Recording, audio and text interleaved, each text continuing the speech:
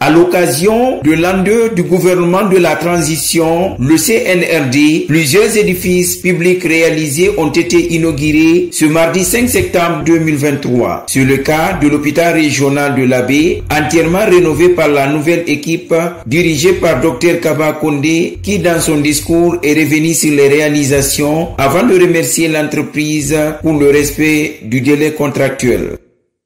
Parmi les travaux réalisés, il faut citer entre autres la construction de quatre parkings d'une capacité de 30 véhicules, le pavage de 4500 mètres carrés de la cour de l'hôpital, la construction d'un abri pour le second groupe électrogène de, l'hôpital, la construction d'un magasin de stockage des outils de gestion et des produits lessiviels, l'achèvement du caniveau d'évacuation des eaux de ruissellement, l'installation d'une lampe lumineuse électronique à la rentrée de l'hôpital, la confection des bancs pour les usagers dans la cour, le renouvellement des panneaux d'orientation pour les patients vers les services, la peinture des bâtiments de la pédiatrie, de la maternité et de la chirurgie. Permettez-moi de remercier l'entreprise Enerco qui a réalisé tous ces travaux à la satisfaction de la direction sans entraver le bon fonctionnement des activités hospitalières.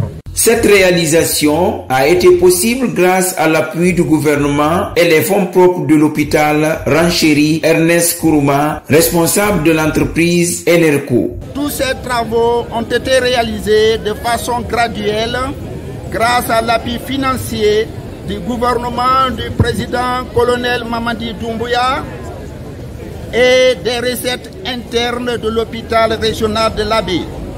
Pour terminer, nous remettons ces précieux bijoux dans l'espoir qu'ils soient utilisés à bon escient.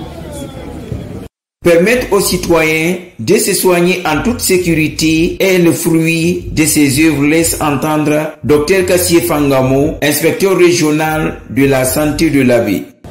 Son Excellence, Monsieur le ministre de la Santé, nous a instruit d'humaniser les, services de soins dans toutes nos structures de santé. Pour le bénéfice de la population, nous avons bien voulu réaliser euh, ces œuvres qui vont permettre à la population d'être soignée en toute sécurité.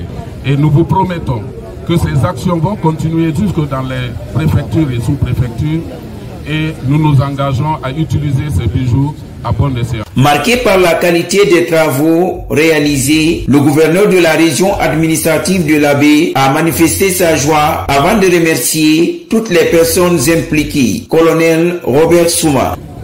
Que chaque citoyen mérite d'avoir accès à des soins médicaux de qualité, peu importe son lieu de résidence ou sa situation financière. Je suis extrêmement fier Aujourd'hui, je tiens à remercier tous ceux qui ont rendu possible la réalisation de cette infrastructure, hospitalière, qu'il s'agisse des travailleurs de la construction, des professionnels de la santé, les décideurs politiques ou des membres de la communauté. Chacun de vous a joué un rôle essentiel dans ce formidable succès. Je vous remercie.